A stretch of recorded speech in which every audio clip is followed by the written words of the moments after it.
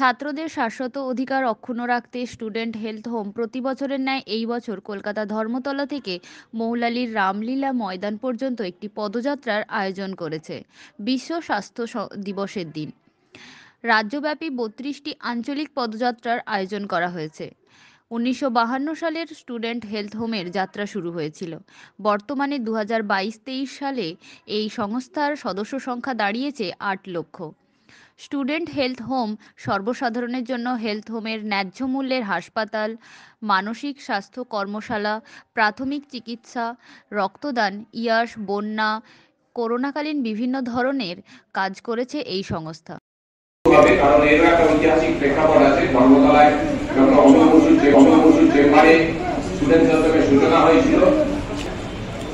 গবেষণা প্রক্রিয়া আমরা দেখেছি স্টুডেন্ট প্রথম পরিকল্পনা হয়ে থাকে, তাহলে আন্দামান সেলুলার জেলের মধ্যে।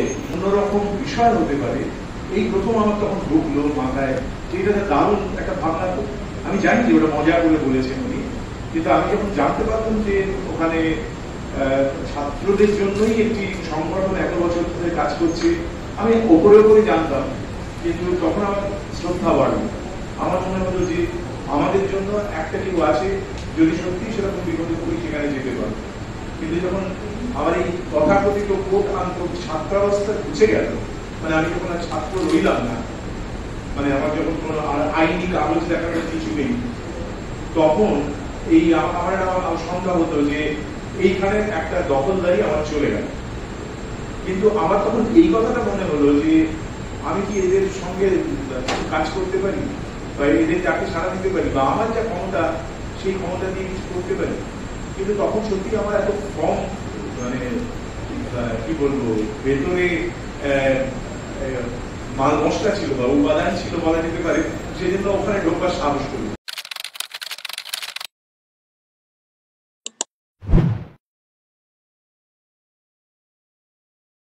Here is an opportunity for all creative performers to showcase their talent by promoting their new CD or YouTube releases and booking a live slot in our digital platform, Quarantine TV or QTV Live channel.